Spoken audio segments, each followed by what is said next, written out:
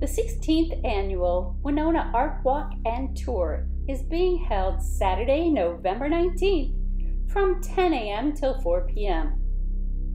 Enjoy seeing the work of many area artists at 10 locations in Winona. It's a one day opportunity to get gifts for the holidays.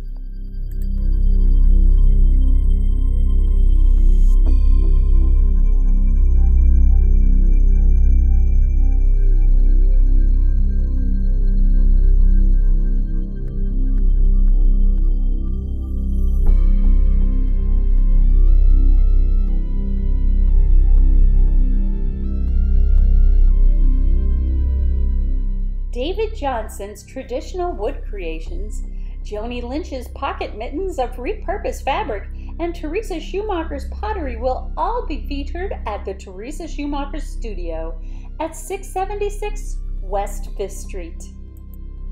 Dirk Nelson will be showing his monoprints and demonstrating the printing process at the Winona Art Center at 228 East 5th Street.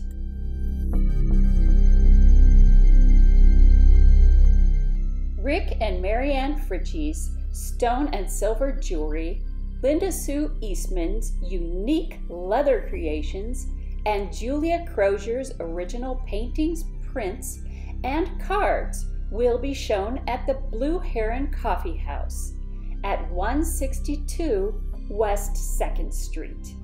Gary Flynn will show his wood carvings and lamps, and Julie Johnston will show her paintings, pastels, prints, and cards at the Julie Johnston Studio at 1122 West Mark Street. Kathy Greeting's cards and Marty Allen's ceramics and monoprints will be featured at the Kathy Greeting Studio at 275 Harriet Street. The Midwest Music Store at 168 East 3rd Street is showing Cat in the Woods featuring inks and paintings by Brianne Daniels and Neil Lacey. The Minnesota Marine Art Museum gift shop at 800 Riverview Drive has works by local and regional artists. Admission fees charged for the galleries.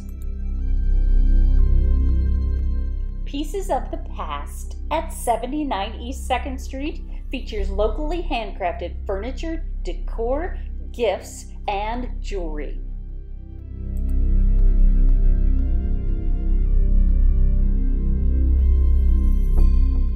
Mary Singer's paintings, cards, and prints, and Flossie Patty's jewelry will be located at the Acoustic Cafe at 77 Lafayette Street.